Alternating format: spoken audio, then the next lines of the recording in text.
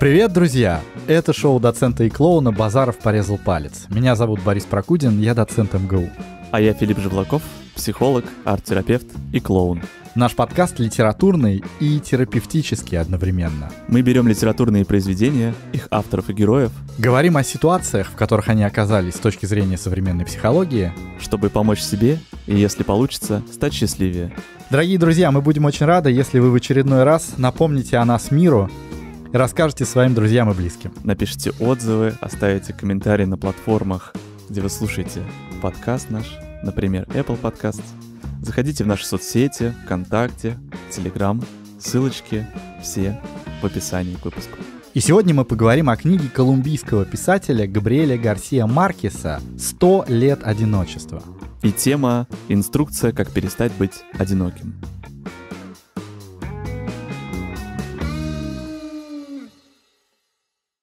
У меня была жена и двое маленьких детей. Так Маркес рассказывал историю создания романа «Сто лет одиночества».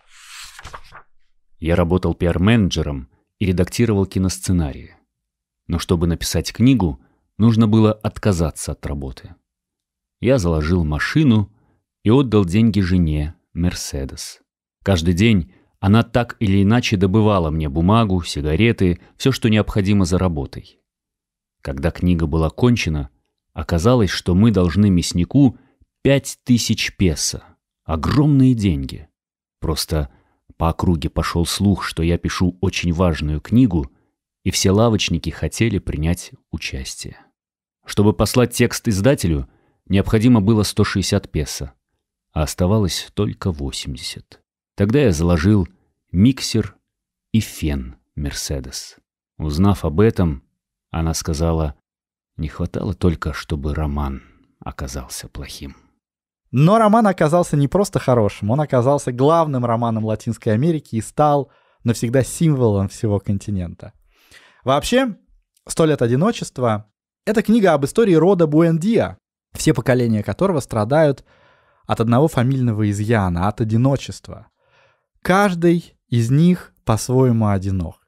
Кстати, нужно сказать, что свою Нобелевскую речь, а Маркес получил Нобелевскую премию, он назвал «Одиночество Латинской Америки» и говорил там, что рациональная Европа, да и страны других континентов плохо понимают Латинскую Америку, слишком уж она странная, слишком уж она страстная, слишком уж она экзотичная. И в этом ее одиночество. Наша необузданная латиноамериканская действительность полна поэтами и нищими, музыкантами и пророками, воинами и негодяями, персонажами самими по себе столь яркими, что даже не требуют напрягать воображение. Ведь главная сложность для нас заключалась в недостаточности обычных литературных приемов, чтобы нарисовать нашу жизнь в достоверном свете. И Маркис изобрел этот стиль, точнее довел его до совершенства, магический реализм. Магический реализм — это когда сугубый реализм почти на физиологическом уровне, а у Маркиса очень много физиологии в романе, совмещается с чудом. Когда к живым героям, например, приходят мертвые герои, которым стало одиноко на том свете. Или когда люди летают на цыганских циновках, как на коврах-самолетах. Мгм. Или когда героя, очень симпатичного героя, о котором мы поговорим, Маурисио Бабилония, пахнущего машинным маслом, постоянно сопровождает рой желтых бабочек. И он ходит в облаке из этих бабочек. Мгм. Городок, в котором происходит событие, называется Маконда, и мы видим всю его историю. Мы видим, как городок был основан переселенцами во главе с патриархом рода Буэндия Хосе Аркадио. Видим, как этот городок рос, как он менялся, как в нем появилась власть, например, как этот городок захватила гражданская война. Потом мы видим, как в него провели железную дорогу, и по ней приехал поезд с французскими гитерами. Потом мы видим, как появилась американская банановая компания. Потом пошел дождь, который длился 4 года. И, наконец, мы видим упадок этого города, запустение и смерть его от урагана. Все это длится примерно 100 лет с небольшим. И это становится целой эпопеей, целой эпопеей латиноамериканской жизни. И вот на фоне этих изменений города Маконда происходит яростная жизнь представителей шести поколений рода или семьи Буэндия, где каждый персонаж — это отдельная новелла, отдельная история одиночества. Действительно, историю каждого этого героя можно рассматривать как отдельный рассказ. Мальчиков в этой странной семье принято называть Аурелиано или Хосе Аркадио, девочек — Амарантами или Ремедиос, с каждым поколением они сменяют друг друга с какой-то невероятной скоростью, калейдоскопической скоростью. Сразу начинаешь путаться в этих Аурелиана первых, Аурелиана вторых. Но главное, что после прочтения этого романа остаются в воспоминаниях несколько образов, которые уже в голове навсегда, которые стали частью твоего сознания. Вот у меня таких образов два, например, сразу вспоминается, как полковник Аурелиана Буэндиа легендарный полководец, который затеял 32 гражданские войны и все их проиграл, как он пытался застрелиться. Когда полковник понял, что война, в которой он участвовал на протяжении 20 лет, оказалась напрасной, пришло время подписывать э, перемирие, причем унизительное перемирие, он попросил своего врача показать, где точно находится сердце. Врач взял ватную палочку, окунул ее в йод и нарисовал у полковника на груди кружок. Полковник подписал это перемирие, взял пистолет, пошел там куда-то себе домой, приложил дуло пистолета к кругу и выстрелил. На следующий день он очнулся на больничной койке, рядом с ним стоял этот счастливый врач, который нарисовал кружок, и он сказал, этот кружок на груди — мой шедевр. Тут единственное место, где пуля могла пройти, не задев ни одного жизненного центра. Или еще одна история. Это история воспарения Ремедиос Прекрасной. В четвертом поколении Буэндия родилась девочка, которая, повзрослев, оказалась ужасно красивой. Настолько красивой, что это всех дома напугало. Напугало так, что бабушка ее, Урсула, решила, что вообще на людях ей нужно заматывать от греха подальше лицо каким-нибудь платком, например, когда они ходили в церковь. Mm-hmm. И с этого момента о Ремедиос пошли легенды, и ее красота, она была как бы настолько оглушительной, что она не радовала людей, она просто уничтожала этих мужчин. Она порождала в них чувство... Сводила их с ума. Сводила их, сводила с, ума их с ума и порождала чувство полного отчаяния. За ней, например, стал ухаживать испанец-аристократ, ходил за ней, делал ей предложения, делал ей подарки. Она его полностью игнорировала, и этот испанец запил и погиб. Потом другой влюбленный пытался посмотреть, как Ремедиос Прекрасная купается, как она моется в купальне, разобрал крышу, упал и разбился насмерть. Угу. А Ремедиос в то же время вообще не понимала, что происходит. Ей были настолько чужды всякие страсти, безразличны все мужчины, что она просто не понимала, что это такое вокруг нее происходит. Она ходила в одном балахоне на голое тело, просто потому что это удобно. Она себе брила голову, просто чтобы не мыть волосы, ела руками. И когда она подросла, в семье все решили, что она, вероятно, просто дурочка. И только полковник Аурелиано Буэндия повторял, что Ремедиос Прекрасная — самое здравомыслящее человеческое создание из всех живших и живущих. И вот однажды Ремедиос помогала снимать с веревки простыни, которые сушились. И вдруг она стала удивительно бледной. Ее спросили, тебе плохо?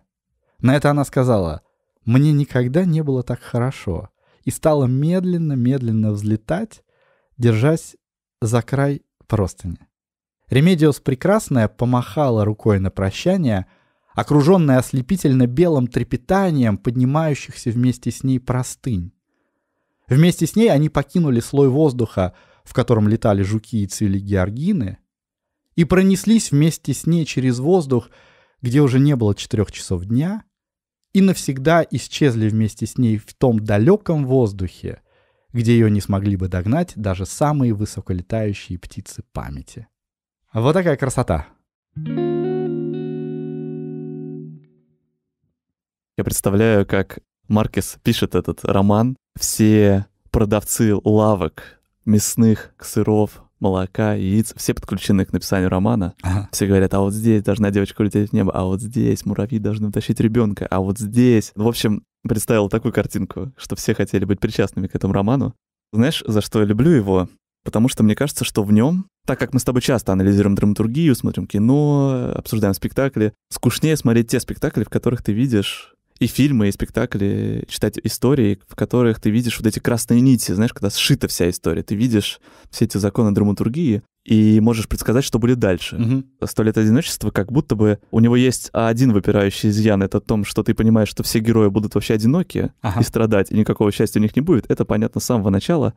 Этот роман напоминает как будто бы, знаешь, э, в американских фильмах часто показывают, как у маленьких детей есть муравьиная ферма. Они ходят с этой маленькой муравьиной фермой. Роман «Сто лет одиночества» — это такая муравьиная ферма, которая живет по своим законам. Ты ее читаешь, и ты не знаешь вообще, что будет дальше, во что она превратится, потому что каждая глава, каждый персонаж — это какие-то разные художественные стили. Ага. И мне вспоминается, например, из моих, знаешь, ярких впечатлений, это когда Фернанда, я не помню в каком на поколении, мы про нее поговорим сегодня побольше, как она рассказывает про кого-то, про всех родственников, которые уже погибли, и как она рассказывает, как ее не любили и унижали, и издевались над ней, и она после каждого, ну, типа, каждой своей претензии говорила, вот он меня все время оскорблял, царство ему небесное, вот тот -то делал мне вот это, царство ему небесное, вот эти, типа, говнюки все время мне, царство ему небесное, и вот этот, с- это, типа, 10 страниц вот этого царства небесного, которое она повторяет, или когда умер э, первый сын Урсулы и Хосе Аркадио, которого тоже зовут Хосе Аркадио, и как описывается, как капелька крови, которая пошла у него там то ли изо рта, то ли из головы,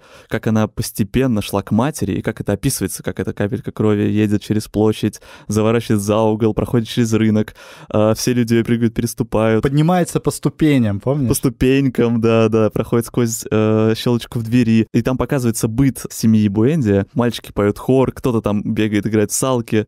Вот, это очень все... В общем, люблю за вот этот разность жанров, и как эта история от сказки переходит постепенно к какому-то жесткому реализму. Мгм. И если вначале есть эта сказочность, магия, какие-то чудеса, то в конце просто какая-то безнадега.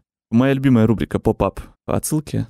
Конечно же, роман «Сто лет одиночества» — это похоже на фильмы Кустурицы. Мгм. Мне кажется, по атмосфере очень. Это картины Шагала и Ника Пиросманашвили. Если из каких-то конкретных фильмов, то это фильм «Город Бога» 2008 года и «Банши и Ширина», который вышел совсем недавно. В общем, в этом всем, кажется, есть дух и магия Габриэля Гарсия Маркеса и романа «Сто лет одиночества». И вновь у нас гениальная семья. Я бы хотел посмотреть сериал, где Глассы и Буэнди как-то взаимодействуют друг с другом. О романе «Сто лет одиночества» совершенно невозможно рассказывать как-то линейно. Понятно, что нужно рассказывать или обо всем, или ни о чем. Но вот мы из всех историй выбрали две. Мы выбрали с Филиппом Григорьевичем две страшные любовные истории, которые очень печальные и очень яркие. О, да. И первая история — это история, которую можно назвать Амаранта по имени ее главной героини. Амаранта вообще была первой девочкой, которая родилась в семействе Буэндия. До этого у Хосе Аркадио и у Урсулы, с которых вообще начинается этот род, было два сына. И вот, наконец, родилась маленькая девочка, которая описана как вертлявая, как очень веселая, и все у этой девочки было хорошо.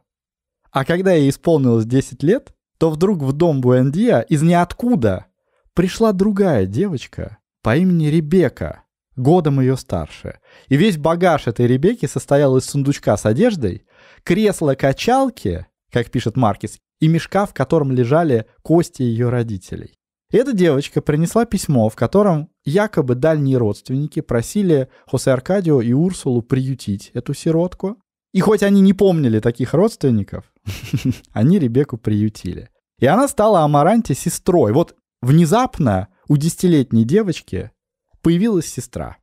А Ребекка, она была такая девочка-волчонок. Поначалу она вообще с людьми не разговаривала, только сидела на своем кресле качалки и сосала палец. И вообще мы про нее знаем, что она тайком ела землю и звездку со стен. Фу. И скрывала это. А когда Урсула об этом узнала, она решила, что девочка больна, ее нужно лечить, и она придумала ее лечить ревенем и ремнем. Ну и не только ремнем, там еще шли в ход лимоны, апельсины, в общем, все, чтобы в рот это не тянулось. И как-то, знаешь, это подействовало. Девочка выздоровела, вдруг стала довольно ласковым ребенком и вскоре оказалась полноценным членом семьи и как бы шли годы.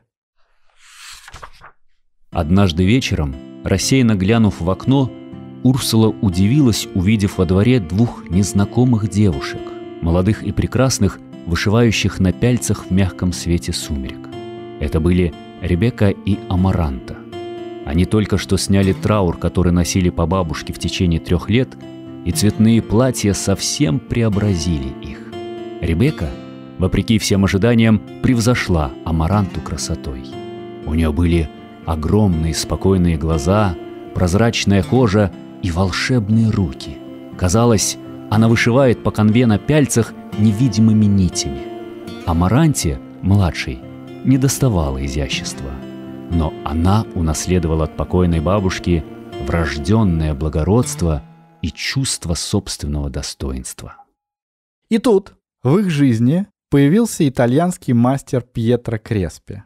Урсула, мать, решила, что девушки у нее на выданье, их нужно как-то социализировать, нужно, чтобы они общались с людьми, устраивали какие-то вечера, и на этих вечерах нужна какая-то пианола, чтобы они mm-hmm. с людьми танцевали. И вот Урсула решила выписать в Макондо пианолу.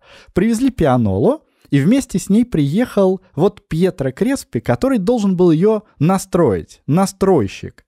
А также в его услуги входило обучать клиентов танцам под музыку этой пианолы. Креспи был ужасно красив, очень утончен и воспитан, всегда одевался очень как-то строго и э, с изяществом. И в дни занятий танцами с Ребеккой Амарантой, пишет Маркес, он надевал бальные туфли и особые брюки, очень узкие и облегающие. Скини, они называются. Ну вот, и в этом виде утонченном он показывал девушкам па. Он даже не думал к ним прикасаться, он это делал очень на отстранение, mm-hmm. очень с большим уважением, но Урсула ни на минуту не покидала комнату, где ее дочери обучались танцам. Mm-hmm. «Напрасно ты так беспокоишься», — говорил Хосе Аркадио Бенде своей жене, «ведь он и не мужчина вовсе». А когда Пьетро Креспи все настроил и уехал, оказалось, что обе сестры в него страшно влюбились по уши. И Ребека, и Амаранта. Ребека снова начала, как сумасшедшая, есть землю горстями, снова начала отколупливать и звездку со стены есть, снова начала сосать палец. Но потом Креспи прислал Ребекке письмо, и оказалось, что он ее тоже любит. Но, когда всем стало известно о их любви, и Креспи даже сделал Ребекке предложение, они начали переписываться и так далее, Амаранта решила, что Ребекка выйдет замуж только через ее труп. Вот здесь начинается главная их драматургия.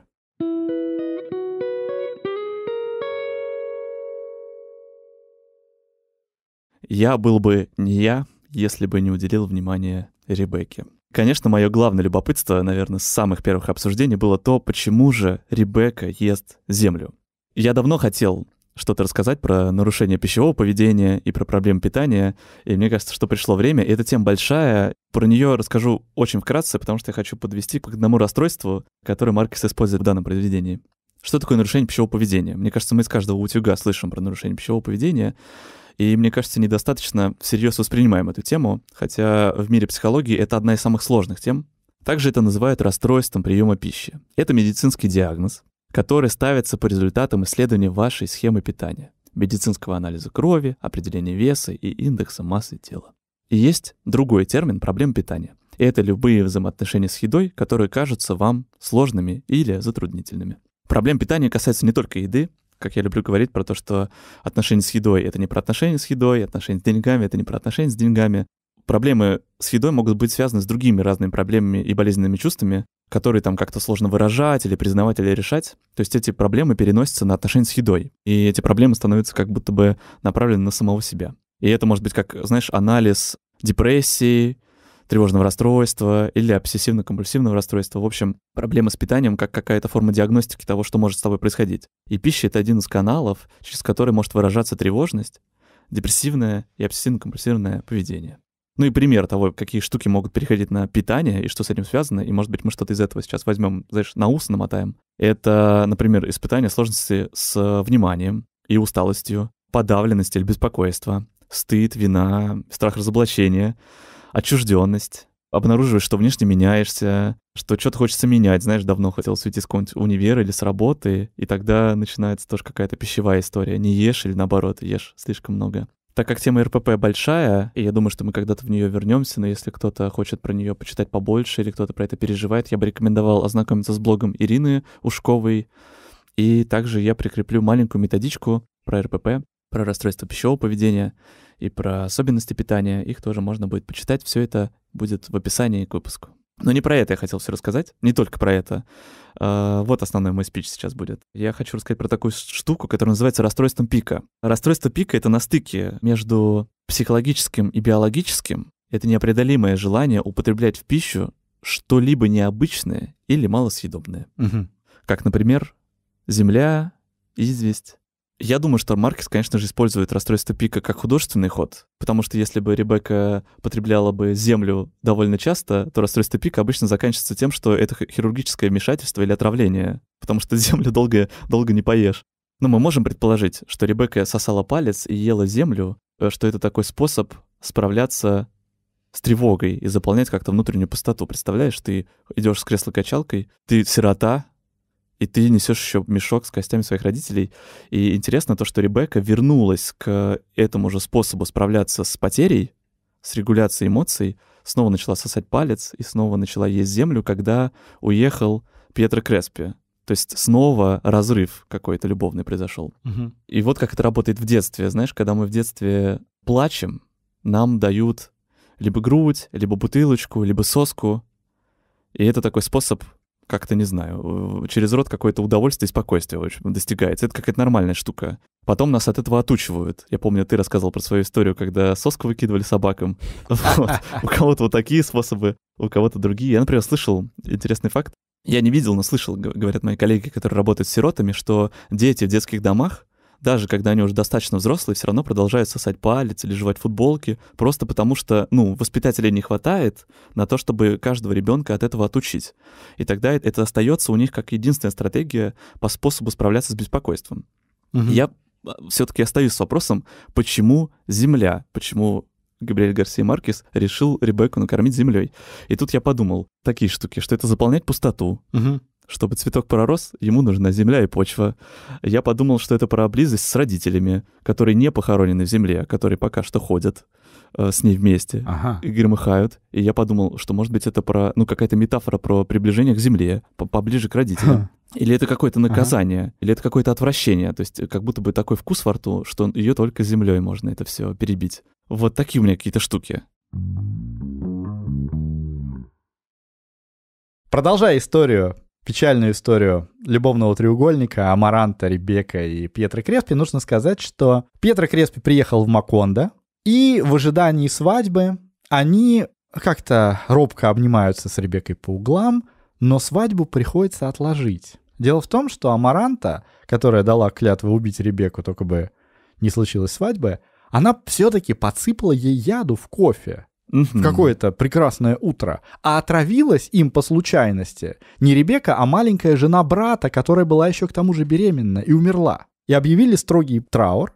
Жениться, конечно, нельзя в этот период. И пошло такое тяжелое и муторное время для Ребекки и Креспи, когда они вроде э, жених и невеста, но свадьба их постоянно откладывается, и они мучаются из-за того, что они только могут за ручку держаться, и все время ходит Урсула и смотрит, как бы они не начали целоваться. В общем, такое тяжелое, муторное время для вечных Ага. жениха и невесты. Ага. И тут происходит событие, которое все меняет. Внезапно домой возвращается старший брат Ребекки Хосе Аркадио. По сути, это э, сводный брат. То есть тоже сын Хосе Аркадио Буэндиа и Урсулы, который много лет назад, еще будучи подростком, ушел из дома с цыганами. Потом он, как оказалось, 65 раз ходил матросом в кругосветное плавание, и вот соизволил вернуться домой.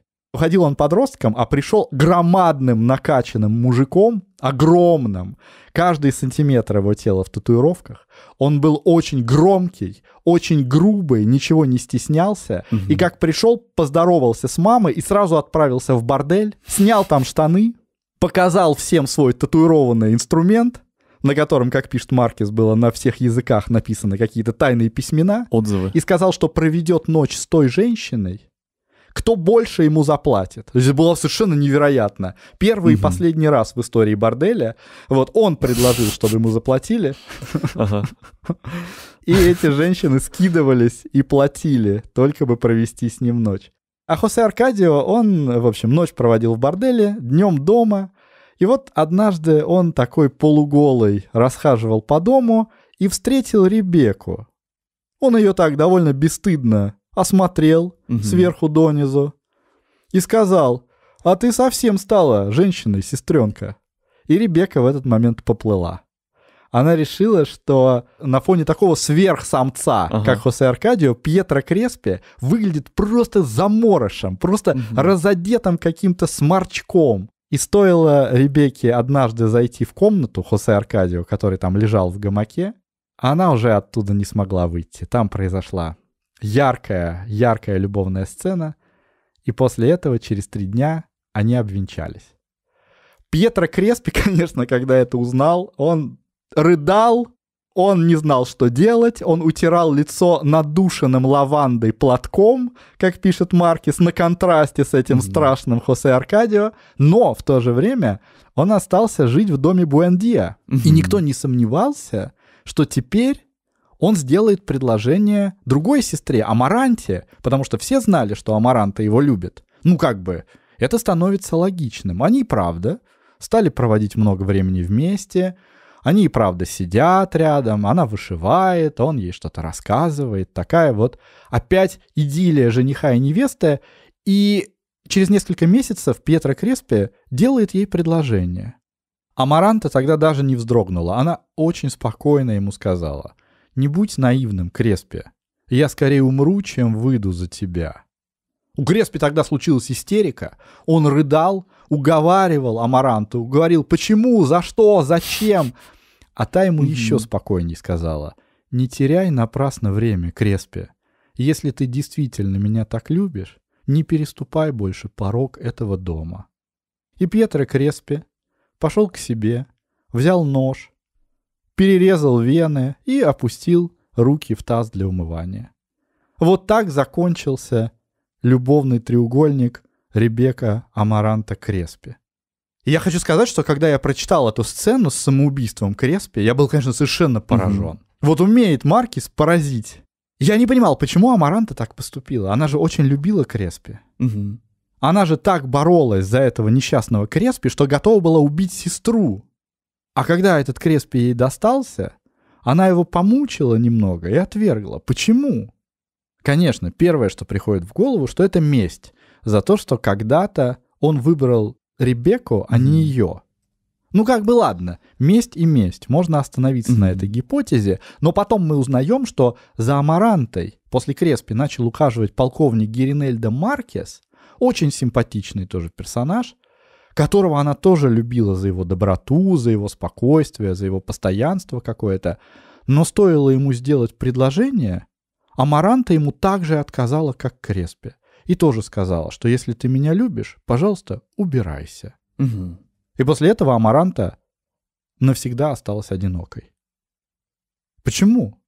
Я, по-моему, не раз про это говорил, но про то, что самый сильный страх у человека, страшнее, чем смерть, это страх отвержения. Люди, правда, переживают про то, что про них подумают, что их пошлют, отвергнут, поэтому они не подходят и не говорят, давай сходим куда-нибудь. Просто потому что боятся того, что случится отказ какой-то. И нужна какая-то гарантия, хоть какой-то маленький шанс на то, что может что-то получиться. И мы, конечно, можем предположить, что Амаранта боится отвержения.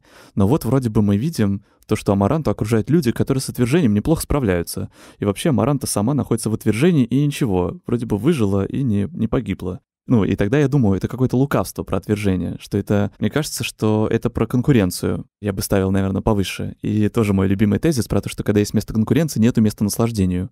Она весь свой мотив жизни и все, весь свой смысл жизни тратит на то, чтобы Ребекка была несчастной, чтобы Ребекка умерла быстрее, чем она. И все. Я думаю, когда у тебя есть место какому-то соревнованию, и тем более желание кому-то смерти, то как будто бы там нет места любви, когда это самый сильный мотив. Ну и знаешь, если бы Маранта пришла ко мне в кабинет, я спросил, смотри, ты мне тут говоришь про страх отвержения, милая Маранта. Но тебе вот, три мужика тебе говорили, давай будем вместе. А ты им говорила, нет, давай не будем. А я бы спросил, а что тебе так нравится-то в ненависти быть? Чего, что там такого? Что случится, если ненависть исчезнет? Что тогда будет? Ага. И я фантазирую, что там же надо доверять, раскрываться, вообще в какой-то пустоте находиться. Потому что понятно, когда ты сестру ненавидишь, понятно, надо типа, как-то ее это доканывать. Понятно дело, которое нужно делать. И я, конечно, думаю, что она любит Ребекку. Знаешь, мне вспоминаются мелодрамы, где родители говорят детям или родители говорят друг другу, когда они разочаровываются, говорят, я тебя ненавижу.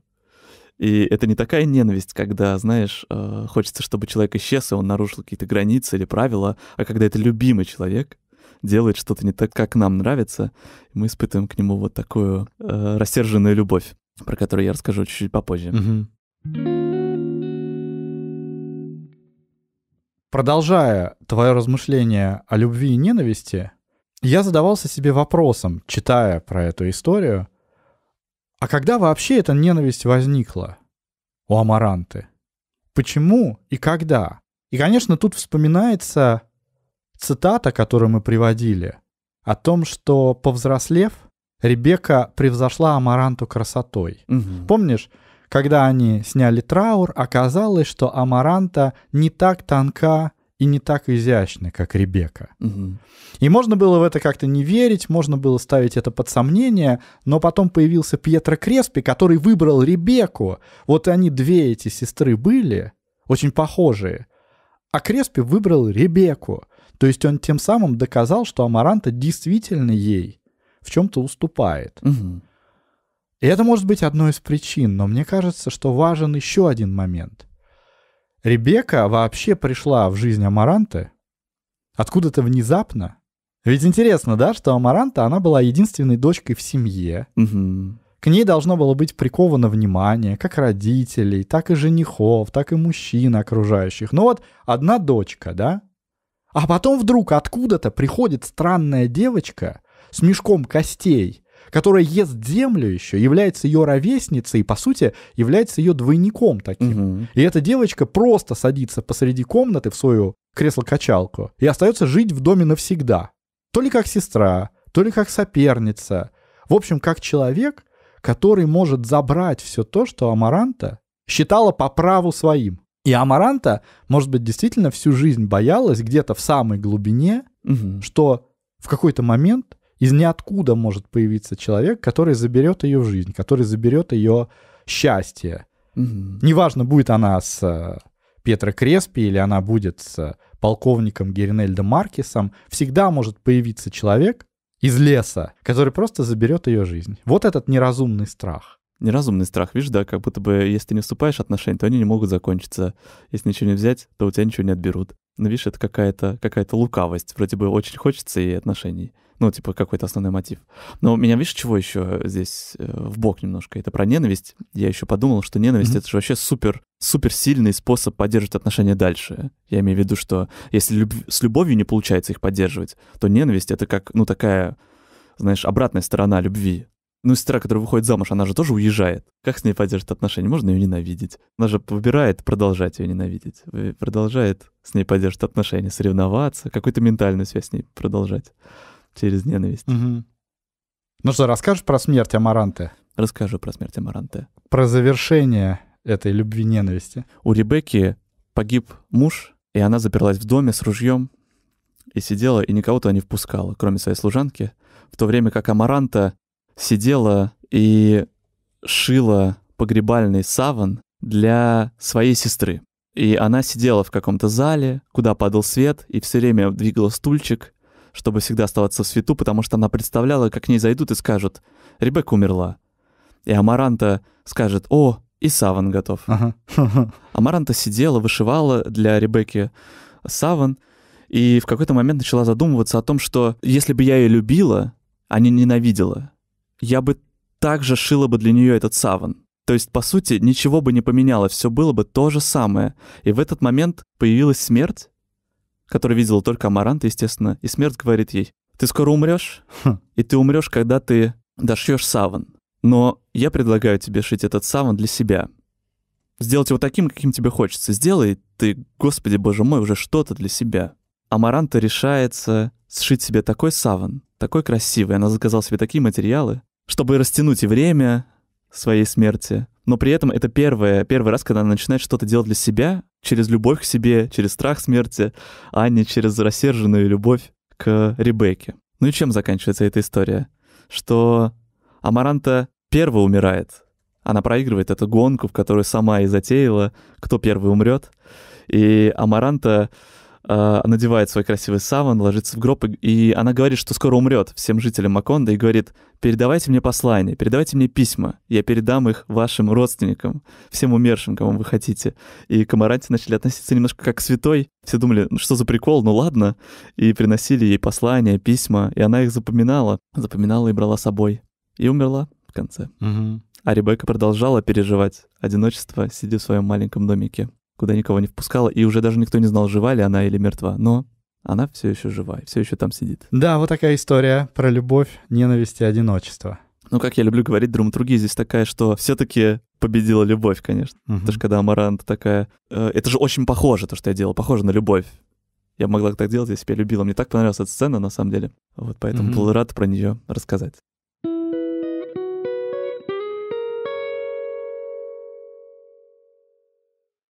У меня есть история не про себя, а про моего папу и про Маркеса. Вообще интересно, что великий писатель Маркес своим любимым делом считал журналистику, а не литературу. Мгм. И у Маркеса была мечта написать роман, заработать деньги и тогда заняться независимой журналистикой. То есть не зависеть от политики изданий, не зависеть от цензуры и так далее.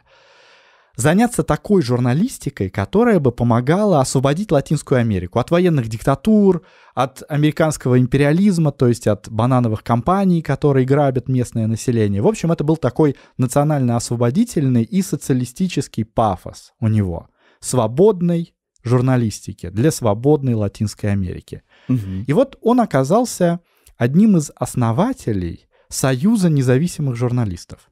И вот большая конференция этих независимых журналистов на Кубе, Маркис председатель. А в это время мой папа работал корреспондентом в гаванском отделении ТАСС и получил приглашение туда, на эту конференцию, как гость. Мгм. Здание Дома Америк, толпа народу, выступают люди, папа сидит, слушает. Начался перерыв. Люди разошлись по сторонам, как-то общаются, галдят, и тут по радио объявляют. В течение перерыва Маркес готов ответить на вопросы журналистов. Через несколько минут. Повторяем. В течение перерыва Габриэль Гарсия Маркес готов ответить на ваши вопросы. Проходит еще какое-то время. Третий раз. Повторяем. В течение перерыва Маркес и так далее. Мгм. Папа смотрит в зал, а Маркес сидит за столом один. И никто к нему не подходит. И папа говорит, что у него невольно возникла мысль, мелькнула мысль в голове. Так это же вот полковник, которому никто не пишет. Вот эти сто лет одиночества. И Мгм. папа пошел к нему с трепетом, как к великому писателю, чтобы нарушить эту нелепость, это неловкое одиночество.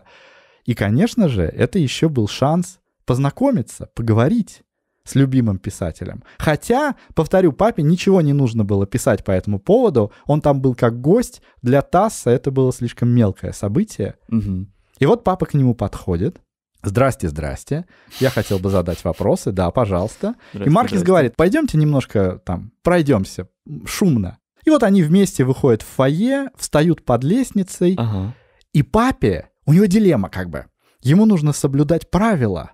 Он не может с ним просто так поговорить. Он должен разговаривать с Маркисом по поводу конференции. Это такая журналистская этика. И вот папа задает ему вопросы. И странное дело, вопросы он задает ему, ну, какие-то дежурные, Мгм. там, как вам конференция, какие перспективы вы видите и так далее. Ага. Но задает их с каким-то восторгом, знаешь. Видно, что папе скучно, Маркису скучно, а зато папа какой-то восторженный одновременно. И Маркис всматривается в него таким проницательным взглядом и не может понять, что происходит с этим молодым человеком. И вот папа рассказывает дальше. Я задал ему 4-5 вопросов. Формальная часть вроде как закончилась. И мы вместе, так же как пришли, Мгм. пошли обратно в зал.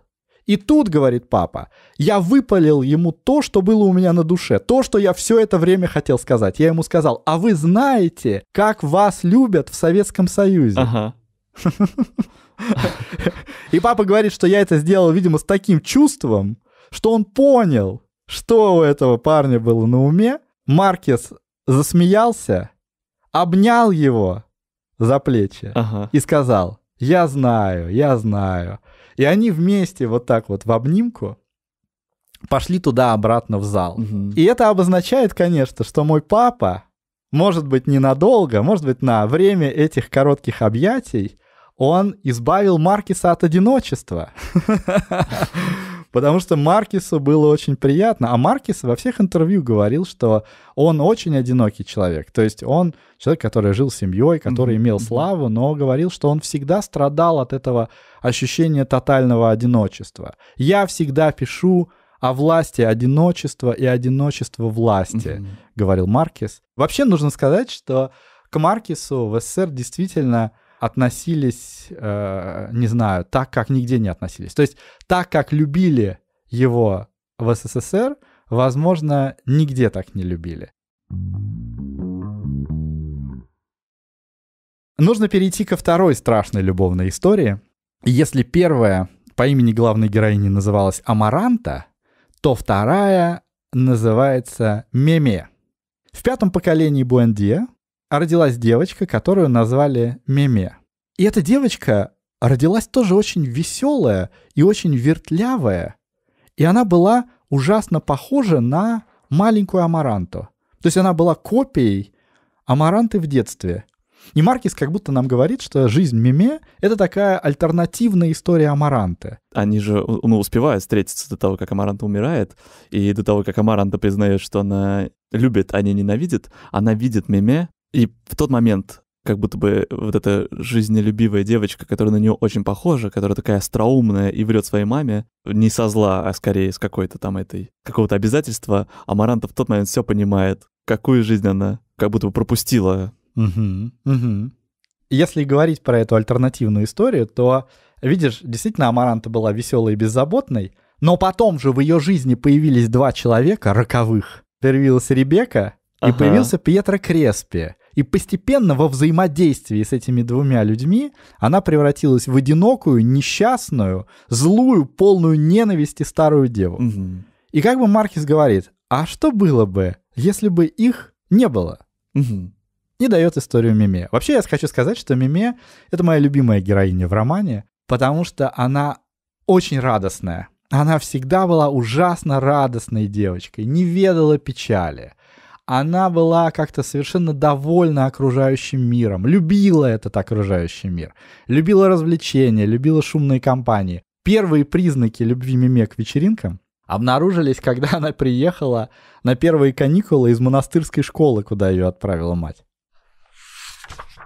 Меме явилась домой в сопровождении четырех монахинь и 68 подружек по классу, которых она, ни у кого не спросившись и никого не предупредив, пригласила погостить недельку в доме. Пришлось просить у соседей кровати и гамаки, установить питание в 9 смен, составить распорядок пользования купальней и одолжить 40 табуреток, чтобы девочки в синих форменных платьях и мужских башмаках не слонялись целый день взад-вперед по дому. Все шло из рук вон плохо. Едва шумная ватага кончала с завтраком, как уже надо было кормить первые очереди обедом, а потом и ужином. За всю неделю школьницы только и успели что сходить на плантации. А по вине амаранты едва не возникла самая настоящая паника, когда амаранта солила суп, в кухню вошла одна из монашек и ничего другого не придумала, как спросить, что это за белый порошок бросают в котел. «Мышьяк», — ответила ей Амаранта. «Мышьяк», — ответила ей Амаранта. Wednesday. Одним словом, Миме была очень веселой девочкой, и в Макондо она любила целыми часами сидеть с подружками в каком-нибудь укромном уголке, пишет Маркес, где они сплетничали, кто в кого влюблен, учились курить, говорили о мужчинах, а однажды распили три бутылки тростникового рома, после чего разделись и стали сравнивать и измерять различные части своего тела. Вот, и все было ничего, и все было прекрасно, и все было весело, пока Меме не влюбилась. Простого механика с банановой плантации, с красивым именем Маурисио Бабилонья. И это именно тот парень, от которого пахло машинным маслом, и вокруг М. которого постоянно Да. кружились желтые О, бабочки. да.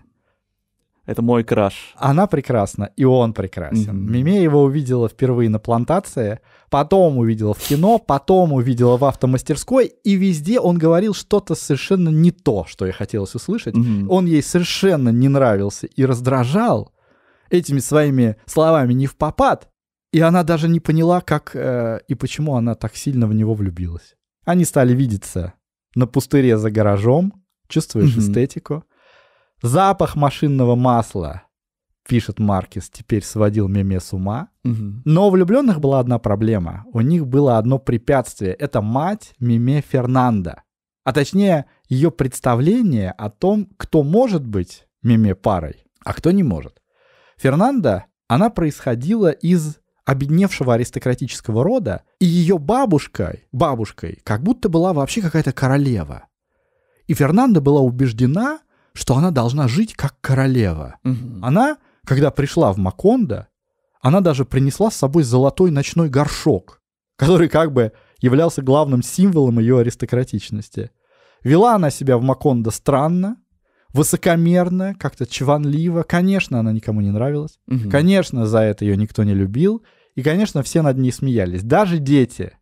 Веселая меме, пишет Маркис, однажды подсмотрела, как мать справляет большую нужду в спальне, а потом рассказывала подружкам, что горшок действительно весь золотой со многими гербами, но внутри его самое обыкновенное дерьмо. Но там было не подружкам, там было, по-моему, семейство, что они все такие этот э, прожаривают, в общем, Фернанду, вся семья Буэнди сидит за столом, типа, и прожаривает ее, что типа, вот, твой отец там, типа, то, от- вот эти сокровища, которые он присылает, это какие-то старые, типа, деревяшки.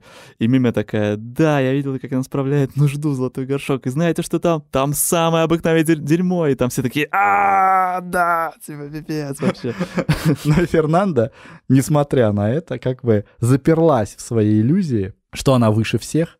Ну вот. А дальше начинается трагедия, потому что когда эта Фернанда узнала о том, что ее дочь, королевских кровей, надо сказать, целуется за гаражами с каким-то грязным механиком, с каким-то пролетарием, и что э, она поняла, что это страшное бесчестие, Мгм. она просто запретила ей это делать и заперла Миме дома. Мгм. А Миме, она была, как всегда, веселая, спокойная, совершенно как бы спокойно это восприняла, только чаще стала ходить в купальню, Мгм. По чаще вечерам. мыться Мгм. по вечерам. И дом как-то начал наполняться желтыми бабочками, которых Фернанда отчаянно травила. Наверное, этим, карандашом Машенька. А- А, Знаешь про карандаш? Он еще тогда был. И вот Фернанда, она посмотрела на этих желтых бабочек и догадалась. Фернанда на следующий же день пригласила к обеду нового алькальда, уроженца гор, как и она сама, и попросила его поставить ночную стражу на заднем дворе. Ей кажется, что у нее воруют кур. А через несколько часов стражник подстрелил Маурисио Бабилонью. Когда тот поднимал черепицу, чтобы спуститься в купальню, где среди скорпионов и бабочек, голая и трепещущая от любви, ждала его Меме, как ждала почти каждый вечер все эти месяцы. Пуля, засевшая в позвоночном столбе, приковала Маурисио Бабилонию к постели до конца его дней. Он умер стариком, в полном одиночестве, ни разу не пожаловавшись, не возмутившись, никого не выдав. Умер, замученный воспоминаниями и ни на минуту не оставлявшими его в покое желтыми бабочками, ославленный всеми как похититель кур. Фернанда так была озабочена тем, чтобы скрыть от всех следы этого фамильного бесчестия, как она называла, Мгм. связь дочки с пролетарием, она просто взяла и отправила Миме в монастырь. Мгм. А та, когда она узнала о смерти любимого, она потеряла полный интерес к жизни и проявляла абсолютное безразличие к тому, что с ней делают, и прожила всю свою жизнь в монастыре, не сказав больше ни единого слова. Мгм. Страшная любовная история, которая заканчивается смертью и одиночеством. В одиночестве умирает, благодаря своим иллюзиям и высокомерию, Фернандо. В одиночестве умирает несчастный Маурисио Бабилония, ославленный похитителем кур. И в одиночестве в монастыре умирает безмолвная Меме. Ну давай немножко вот сядем, на- наденем шкуру Фернанды. Представь, что ты растешь в семье, которая давно обнищала, но имеет какой-то аристократический флер и вайб постоянный, что вместо того, чтобы в этом доме признать, что вы нищие, тебе говорят, что ты какаешь бабочками, что писаешь ты чудо-молоком, что вы, когда умираете, вы не тлеете, и черви вас не едят, что все там самые какие-то дешевые подарки — это на самом деле королевское вообще сокровище. Ну, во-первых, она жила в этом, а во-вторых, она же приехала в Макондо на конкурс красоты, а Аурелиана II, папа Меме, поехал искать ее после. То есть он отправился в дальние земли искать самую прекрасную женщину на планете Земля, чтобы жениться на ней. И он типа ее искал и попал вот в какой-то там заброшенный особняк, и нашел ее и привез. И он уже подкрепил идею, что она королева. И вот начинает происходить эти штуки, что там и приезжает ее гроб ее отца, и она говорит всем, мы там не тлеем, трупы не стареют, типа мы просто как будто бы спим, как будто бы мы фарфоровые, открывает гроб, а он весь в червях и тараканах, и вместо того, чтобы Фернанду как-то поддержать в этом всем, ее засмеяли, как обычно это происходило, довольно злобно. Я, конечно, понимаю, почему семья Буэнди была так жестока к Фернанде, и почему они так высмеивали. Им, наверное, хотел, чтобы она была попроще. Но, мне кажется, с таким способом, с которым обходились с этим семья Буэнди, они делали только хуже. Фернанда еще больше укреплялась в своей позиции, что она королева. Королева не может признать, что ее родители умирают, так же, как другие, их тоже едят черви. Оказывается, что королевская кровь тоже поедается червями. И что у девочки может быть роман с другим мальчиком? Это обычный, обычный мальчуган, потому что это обычная семья. И я не знаю, что сказать Фернанде, но я прекрасно понимаю, почему она ведет себя вот так вот. А, я думаю, что мы все же разные, и у нас у каждого своя правда. Есть такая штука, которая называется валидация и инвалидация. И я тебе немножко про нее рассказывал, и сейчас расскажу ее нашим зрителям немножко. Что такое валидация? Я пока не могу просто найти слово попроще. Ага. Валидация — это когда я признаю значимость твоих чувств, твоих мыслей, твоих слов. Это не значит, что с ними надо соглашаться. Это значит, что я их слышу, вижу и признаю. Пример валидации — это когда ребенок упал с горки и рыдает, и это реально больно вообще-то и обидно. Мы ему говорим вместо того, чтобы харе рыдать, что такого, ты мужик, или тут нет, нет чего такого, чтобы рыдать, мы ему говорим, блин, ну вообще это правда обидно, когда ты падаешь. Даже если это не больно, это правда обидно, чувак, сочувствую тебе очень. Это вот пример валидации. А инвалидация — это когда мы говорим, что ты грустишь, не грусти, Тут, смотри, ну твой пап тлеет, что ты гонишь-то нам? вот это пример инвалидации. Хотя, мне кажется, для нее, ну, она соприкасается с реальностью, она не дура. Если продолжать немножко историю, перехвачу у тебя тут эту инициативу, Фернанда пишет письмо своему оставшемуся единственному сыну. И в этом письме она пишет ему всю правду. Она пишет, что, что я не богата, что наш, наше там поместье не процветает. Она пишет ему абсолютную правду. То есть из этого я могу предположить, что Фернанда не, не дура. Я думаю, что она так справлялась со своим одиночеством. Потому что, я думаю, сложно ей было жить в семье, в которой тебя никак не принимают, с тобой ничего не обсуждают, а только высмеивают. Какой-то у меня вот такой спич. С любовью, в общем, я к Фернанде как-то отношусь. После того, как я прокрутил это в голове миллион раз. Знаешь, с любовью и, и сочувствием, в общем. Что мне жалко, что так все сложилось. И жалко всех вообще в этой истории.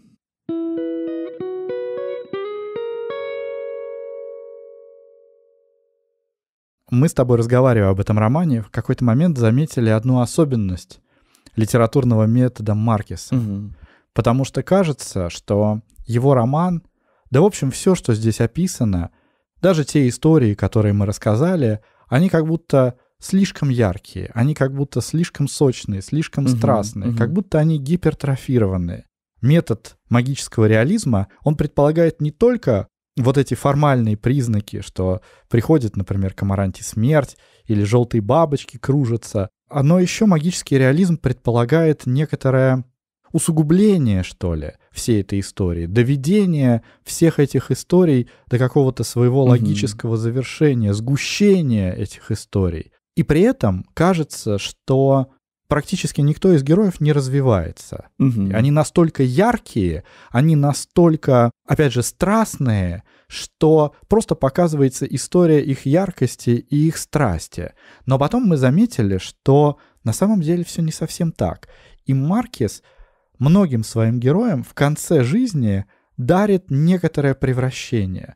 Как Амаранта, которая совсем перед смертью понимает, что на самом деле она могла бы не ненавидеть, а любить Ребекку и также делать для нее саван, также и Фернанда в конце понимает, что она могла бы выйти из своих иллюзий. Она как mm-hmm. будто преодолевает свои иллюзии. Но только перед смертью происходит не преодоление одиночества, а как будто понимание причин этого одиночества. Но, к сожалению, с этим уже нельзя ничего сделать. И вот у меня есть манифест, которым я хотел бы закончить, и некоторые философские размышления, которые вообще возникли вокруг романа. Мне кажется, что Маркис написал один из самых трагичных романов в истории литературы. Он показал целый каталог одиночества.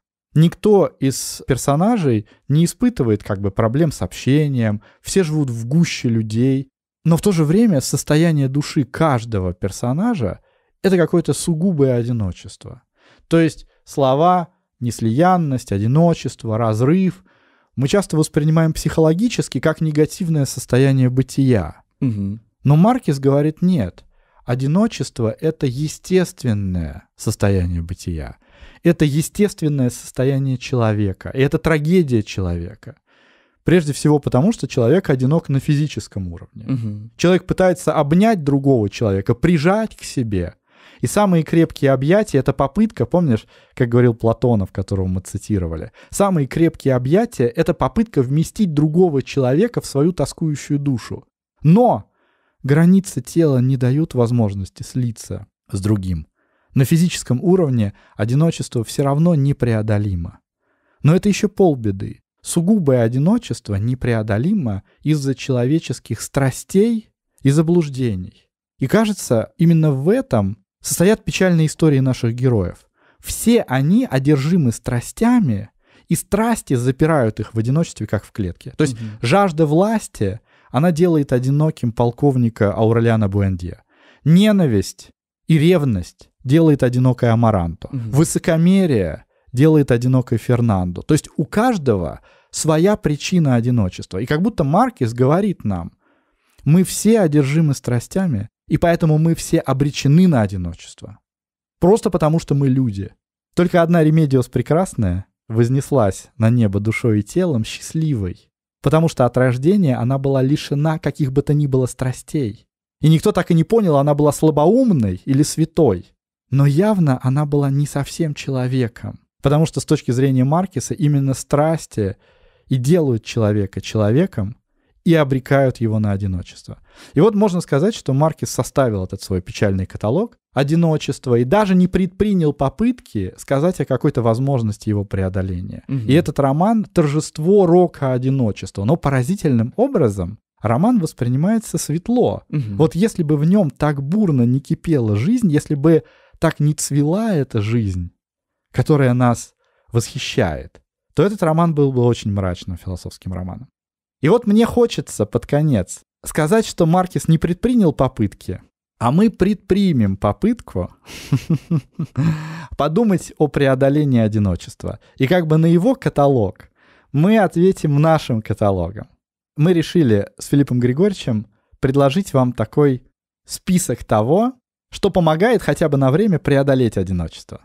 Первый пункт.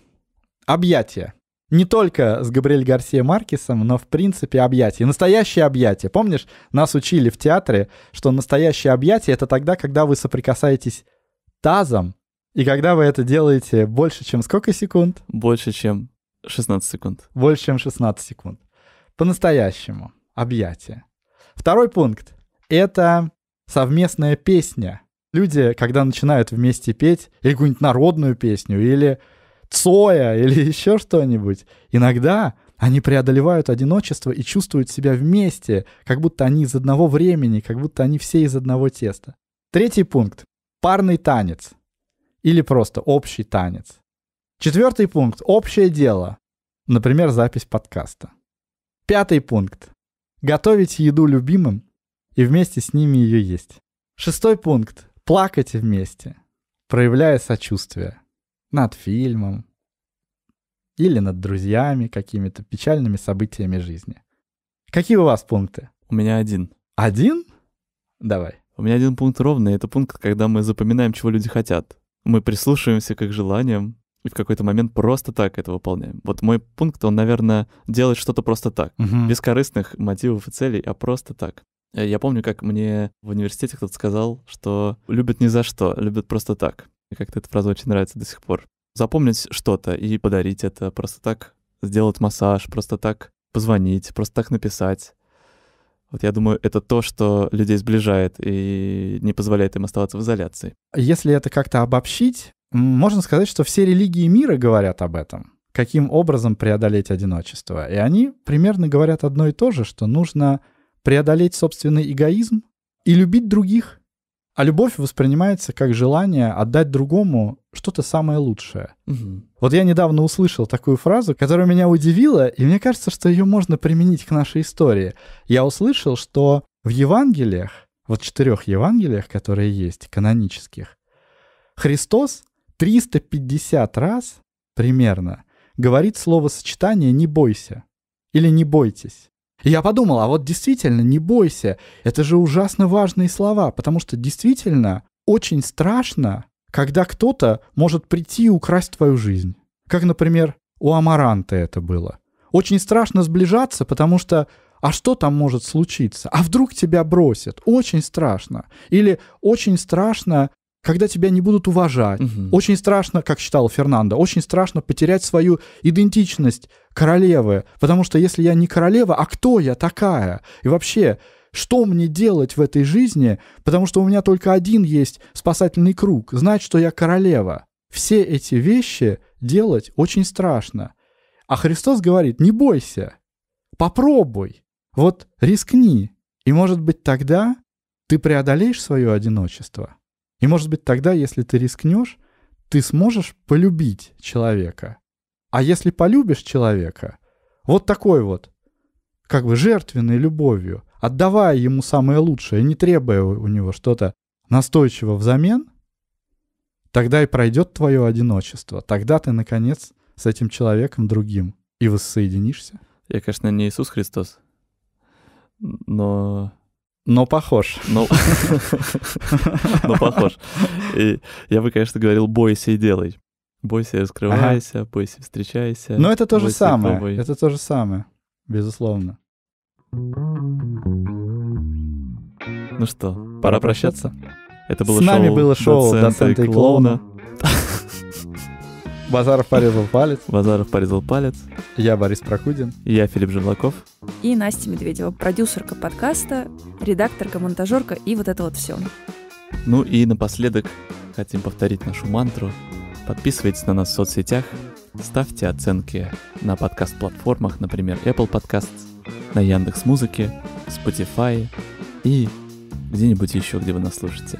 Подписывайтесь на наш Patreon и Бусти, если вы хотите проводить больше времени с нами в чате в Телеграме, на наших таинственных вечерах, где мы проводим лекции по сторителлингу, рассказываем истории друг другу, рисуем картинки и много чего другого разного. Бусти подойдет для держателей российских карт, а Patreon для зарубежных. Также нас можно поддержать единоразовым донатом в Телеграме и по ссылочке, которая будет в описании эпизода. Все можно будет там найти. Литературные вставки сегодня прочитал Иван Полетай. А музыку написал я, Лёша Воробьев. До следующего эпизода. Что-то странное. Люди едят лампочки, гвозди, стекло, песок, Сникерсы. землю. Сникерсы ты назвал? Ну ты вообще даешь. Это тоже расстройство? О, нет, это нормально. Это сладость для удовольствия. Кушайте, ребята, в свое удовольствие.